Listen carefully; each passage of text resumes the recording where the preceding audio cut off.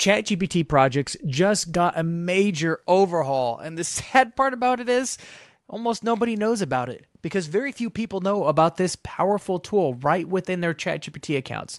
Now, to be fair, that's because only Plus and Pro users had access to that. But that's all about to change. In this video, I want to show you how to leverage this powerful tool within ChatGPT. Welcome back to the AI Driven Marketer. I'm Dan Sanchez. My friends call me Danchez. And today I want to show you one of my favorite tools because this has been an awesome tool since it came out last December. It hasn't even been out for a year yet. And they're dropping a major upgrade here in September of 2025. So if you're new to this, I want to be sharing my screen to kind of give you an overview of what Projects is, talk about how I'm using it, and then show you a quick demonstration of how to set up the project instructions so you can become a power user of it very quickly. If you're listening to the show, just know that this is a video podcast. I will be demonstrating this, but also talking through it. So if you're listening while you're driving the car or doing a workout or something, you'll still be able to get the gist of it as we move along. But you can watch it in Apple, Spotify, YouTube, and on my website at danchez.com. Everywhere else, it's probably going to be audio, but the video is plentiful and everywhere. So if you want to tune in and see what I'm doing, just open up that screen and take a look. Hey, just a quick interruption. This is Dan here, and I just want to apologize because I've never shared this resource with you. It's from a good friend, Brian, and he created a fantastic resource that has brought him a high ticket uh, customer every week for the last 52 weeks. The first time I saw it, I couldn't believe how simple it actually was to implement, and I'm using it even in my own business now. And it's a tool around how to leverage not your own audience, but other people's audiences in order to generate leads and get clients. So, I want to share this research with you. He breaks it down in exact detail so that you can actually learn how to leverage the audiences of other people like I am today. Go to danchez.com slash BOPA, B O P A, in order to get access to Brian's resource and guide on how to leverage partnerships and other people's audiences in order to generate high paying ticket clients now. Again, that's danchez.com slash B O P A. So I'm looking at my own ChatGPT account, and I am migrating from one I've been using for years to a new ChatGPT account. That is kind of an episode for another day. Uh, but you could see over on the left-hand side of my screen, we have all the different things we have, like in the menu of ChatGPT. Right, we got new chat, search chat, library for all the images, Codex, which nobody here who's listening to this uses that. Sora, which is the video platform. We have GPTs I've covered that in many videos in the past about how to get started with uh, custom GPTs. That's also just a plus and pro feature, unless you're using somebody else's custom GPTs. And then we have this new thing, or at least it's new for you if you've been on a free account. If you've been on a plus account, you've had this here for since December. Uh, but it says it's got a little folder icon and it says new project. If you have existing projects, all your projects are underneath that.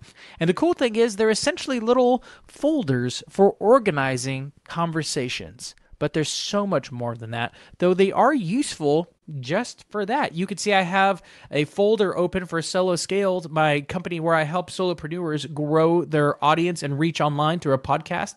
Um, and I have a bunch of different conversations that I've had there. And you can see that they're all grouped within Solo Scaled. And that's really useful because let's be honest, we've all lost conversations before. We're like, what was that thing that I had going on with ChatGPT? Was from weeks ago, months ago, but I can't find it. Ah, it's a lot easier now if you could just keep it organized in the folder that it should be going in. So I've been using folders like these these project folders to organize different parts of my life, whether it's for Solo Scaled, this show, the AI driven marketer I have a whole folder just for my fitness life and nutrition uh, to keep all those organized in one spot. I have a whole folder just for LinkedIn posts. Now, later on in this conversation, I'm going to be talking about how I'm using it for all these different things. But just to kind of give you an idea, it's it's a way to organize the different areas of your life that you're having frequent conversations with. So ChatGPT, and it's helpful for that. But that's not the only thing that it's helpful for.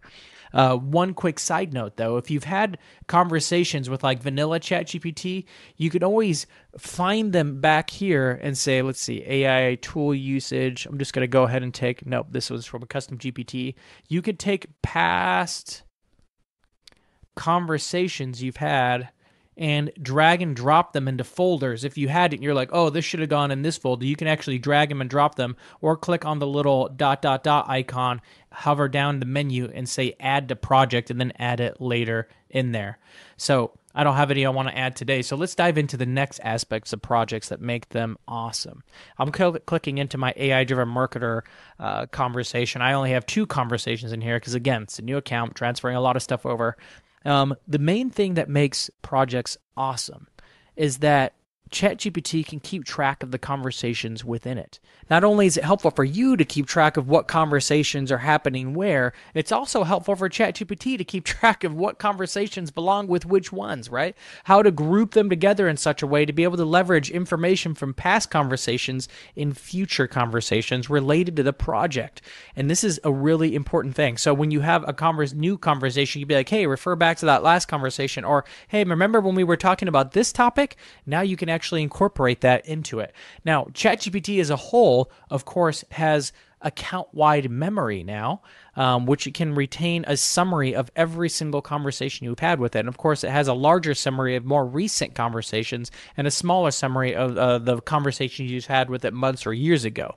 And that's kind of how it works. Until recently, you they kind of overlapped a little bit. Yeah, ChatGPT might remember a little bit more of the summary from within the project, but it also had some access to summaries from within other projects. And this was kind of a breakdown with projects when they released memory across your whole account. There was bleed over from one project to another. But that's one of the major updates they, they just made to it yesterday. That's why I'm recording this video today, is that they now give you the ability to be able to control that and you can only do it on new projects. So let me show you real quick. I'm going to make a new project. I'm just going to call this project test. Oh, you know what? Let me let me start over. Let me do new project. I'm going to call it test 2. And when you set up the project, there's this little gear icon. it has a name and it gives you little suggestions of what to name it or whatever. It's like investing, homework, writing. Uh, I'm just going to call this one test two, but there's this little gear icon at the very top. You can now specify whether you want to use default memory. Um, which is how projects have been working, where there's overlap, where one uh, your project can access memories from outside the project, and conversations outside the project can access the summaries of what's going on within the project. That's pretty useful, especially if you have overlap between it, like I do between the AI driven marketer and solo scaled sometimes. Since solo scaled is helping people launch podcasts, and I'm using podcast AI driven marketer is my podcast, it's helpful for those projects to blend a little bit. But what if you don't want it to blend? What if you have clients where you don't want anything else from your other conversations interfering for the instructions you have for your client that you're working on and using ChatGPT to make maybe some of their, their website material or something like that? Ah, now they have this new project only. And that is a really helpful distinction because it actually keeps all the different summaries from past conversations out of the project and keeps all the other conversations happening outside the project from accessing memories within the project. So it's a two way barrier. It keeps things from leaving and it keeps things from coming in. And this fixes a lot of things for people who manage clients or maybe have different areas of their life that they want to keep very separate. Uh, it's just helpful for a number of different things. It, it, fixes a lot of the problems we had with projects before, but you do have to set it up at the beginning. Once you determine one of these things when you first set it up, it's locked in. So I'm going to go ahead and click project only for this one and click create a project. You can see I now have my project test two, and there's no conversations underneath it, but there's a few different things you'd want to keep in mind when you're creating a project, and that is you can go over here on the upper right in the upper right hand side. It has this little button here called Add Files. This used to be located right underneath the chat window in a new project. There was an Add Files button uh, on the left and instructions button on the right. We'll get back to where the instructions thing went, but it's still there. Uh, but you can add files. You can drag and drop PDFs, docs, spreadsheets, all kinds of information here so that ChatGPT can have access to it for future reference. It's really nice, especially if you're working on a project like I am with the AI driven marketer, right? I have lots of conversations with ChatGPT about this very show that you're listening to. And if I go to that project, you can see I have one file uploaded, and it is a personal brand guide for myself. I actually have my own personal brand fairly fleshed out. And because my personal brand, Danchez, and the AI driven marketer overlap so much, since this is a personal podcast, uh, it references that often when creating new marketing materials for the AI driven marketer. It's just a helpful thing for it to know what my brand values are, the aesthetics, and all that different kind of stuff. So that's a file it has access to in the files section. It's just a piece of context that can always have access to. But every conversation within the AI driven marketer folder will have access to this one file. You can't have one file and only make it available to one conversation or the other. Now, there used to be another piece over that was more easily accessible and they kind of buried this a little bit but it's actually one of the more powerful features within projects so over in the upper right hand corner again that little dot dot dot icon to show you more you can of course go to edit project where you can change the name and do some other things like pick a different icon or a color for the little icon um, but you have edit instructions this is the advanced feature that very few people take advantage of. For example, I'm looking at the instructions for the AI driven marketer, and it essentially has a bunch, it looks like code. It's actually just markdown, it's just formatted text. Um, markdown's just kind of like the simple way of saying instead of giving it a header, it has a little like pound pound and then you know, some other formatting things to help ChatGPT understand how I'm organizing it. But it doesn't even have to be that. You could literally just write the purpose of this project is and then insert your purpose. The instructions are what power the project. The instructions are essentially telling and giving context to what this whole project is even about. Um, you don't have to give it instructions. It could just have the context from conversation to conversation and have ChatGPT figure it out. But if you want AI to be a thinking partner, if you really want it to act like a second brain, I promise giving it instructions is one of the most powerful things you can do. In fact, one of the things I try to do within the first conversation of every new project is to have a conversation with ChatGPT about what the instructions should be. So I say, hey, ChatGPT, I'd really like to start a new project about something like, I don't know, my health goals ask me questions to clarify what my health goals are so we could generate instructions that guide this project. You could see that this is exactly what I did for this, hence all the formatting and different things going on um, that power this project. It's all the context around what the AI driven marketer is and what it stands for so that it can have that every time I submit a new prompt to it, every time we have a new conversation about the show, it has that context available. So I highly recommend that every time you have a new project, uh, a new start a new project within ChatGPT, just say, "Hey, ChatGPT, what I want to create instructions so that we have context for everything that happens within this project. Here are the goals. Ask me questions to gain clarity around what they are, and then help me turn that into instructions that I can copy and paste into the instructions part of the project." It will make the project way more powerful, even if it's just basic context and a purpose statement to guide AI into helping you accomplish the goals for this project.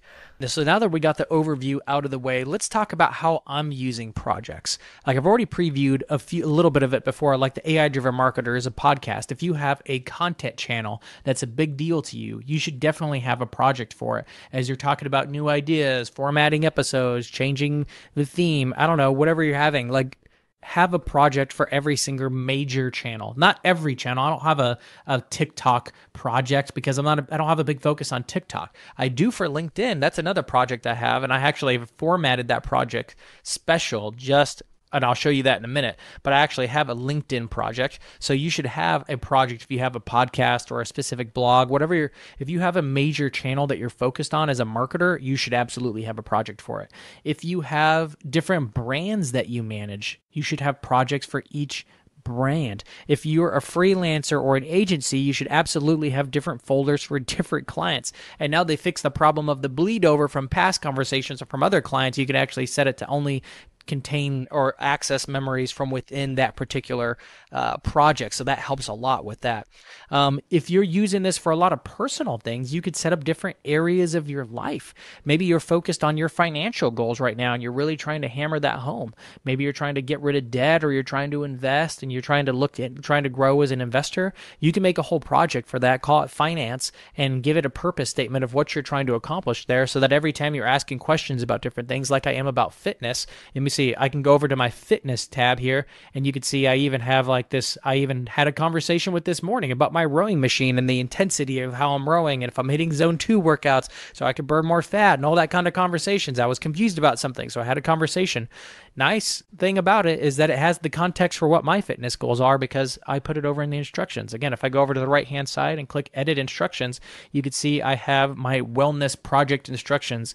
Build and maintain. You can see the purpose statement is build and maintain a sustainable habit-based health, habit-based health system that maximizes daily energy, longevity, and mental clarity all in service of living a God glorifying life. So that was the purpose statement that I co crafted with ChatGPT, and I have core principles in it. I got a current baseline of fitness of where I'm at, what my, my nutrition regimen is uh, my goals and motivation, my guidance for future conversations. That's it. That's a really simple set of instructions that kind of guides all the conversations. So when I'm talking about cholesterol or creatine or anaerobic breakdowns, like it has the context to all of that and all the context from past conversations we've had before in order for it to help help me improve my fitness. So areas of life is a great way to improve how you're using ChatGPT because now you can have all those conversations within one folder and ChatGPT can do a better job of keeping track instead of having them scattered all over the account, you know, where your fitness stuff is mixed in with your marketing stuff, mixed in with that conversation you had about how to handle this this problematic habit of your your daughter or something like that. Then it's not all mixed in. They're all organized in folders. Helpful for you? Helpful for ChatGPT to keep straight of your chaotic life. I know it's helpful for mine.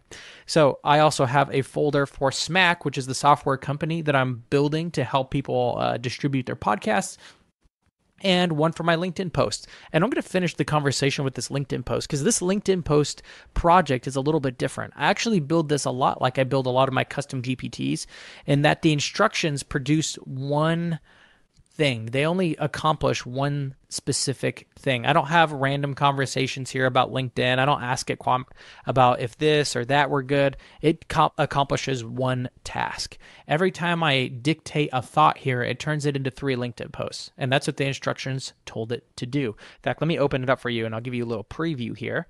It says the purpose uh, I started this as a GPT. It's now a project, but this GPT exists to take raw ideas, outlines, or draft snippets from Dan Sanchez and turn them into polished final LinkedIn ready posts reflecting Dan's distinct style, tone, strategy. It may also suggest images when appropriate. So it actually takes all my my writing style, all the different do's or don'ts that I have for LinkedIn, image styles, workflows, and instructions. It takes a raw idea I give it and then turns it into three different LinkedIn posts: a long one, a short and concise one, and a spicy take version of the post. And I usually pick one of the three and post it to LinkedIn, and that's how this works.